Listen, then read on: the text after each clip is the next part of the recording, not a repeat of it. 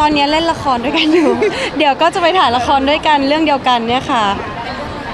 เรื่องหน่วยรับสลับเลิฟค่ะ โอ้ดีใจมากๆเลยค่ะพี่หยาดน่ารักค่ะ แล้วก็พี่เขาก็สอนลิศเยอะหลายอย่าง แล้วก็พี่เขาก็ช่วยดูแลลิศแบบทุกๆอย่างเลยด้วยลิศก็ยังแบบเด็ก แล้วก็แบบ เหมือนลิศก็ยังมีประสบการณ์ในการแสดงน้อยอย่างเงี้ยค่ะก็พี่หยาดก็คอยช่วยตลอดไม่หรอกเนอะพี่หยาดช่วยค่ะ แบบเวลาเข้าฉากอะไรเงี้ยพี่เขาก็จะ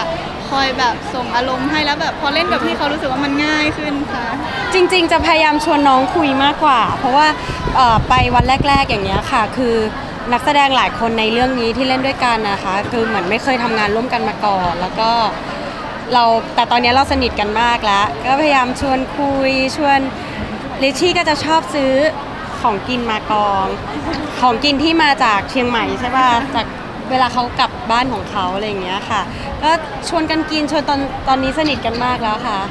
ก็ตอนนี้เราถ่ายกันไปเยอะแล้วค่ะ ก็แล้วก็กำลังเร่งถ่ายส่วนที่เหลืออยู่ค่ะ ก็เร็วๆนี้ค่ะ แน่นอนค่ะ